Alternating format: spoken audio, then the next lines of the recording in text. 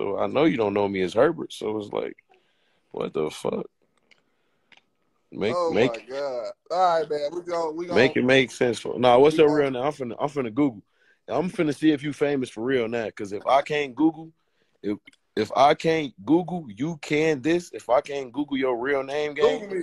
Google me right now on the guys. You gonna see me. um, Google me right now. if I can't Google your real name, folks, you lost all respect for me, folks. Google me right now. Don't be trying to edit it, cause I know you can make a Wikipedia. That shit can make anything. Don't try to get off this lab Man, and I'm put your on- real name on there, folks. Man, I'm on all type of vlogs, man. You ain't. Go on Google me right now. Like, damn, folks, you gotta call me Herbert. Like, God, God Almighty. folks. Yeah, I be asking my son. I be asking my son, like, what's your dad name? He say G Herbo. Like, why you gotta call me Herbert, gang? Like, damn, son. Why do people get mad when they when they get called their real name? You call my real name. I don't give a fuck. What is it? Say it on the live. Earl. Earl. Yeah. what the fuck?